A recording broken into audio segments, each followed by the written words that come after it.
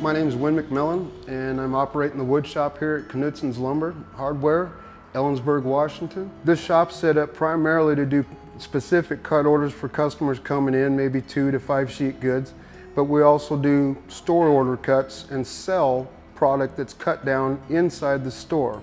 I, I went with this Grizzly slider saw because I had ran them in the past. I know how well they do custom panel cuts and precision time after time, even after adjustments on the saw, moving the fences or whatnot. But they're also a user-friendly type of a saw where you can feed them in and pump through a good amount of sheets in a day without wearing your body out. I might have 20, 30 sheets to cut that we sell from 4x4 down to 2x2.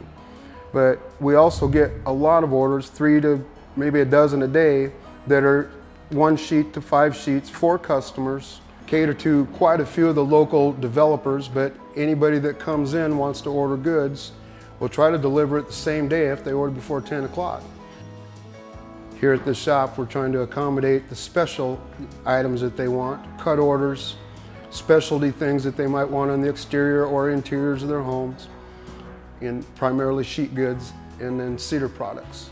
Placement on the, uh, the slider saws is crucial. In my opinion, when you set up a shop, you need to find the footprint of your saw and the travel area it takes and what it needs to operate and function. You set it up first in your shop and then set up your feeder tables, your assembly tables, and your other equipment throughout so everything works hopefully in a horseshoe loop to get product in, finished, and product back out without moving a lot of appliances and everything else to, to get it all to happen.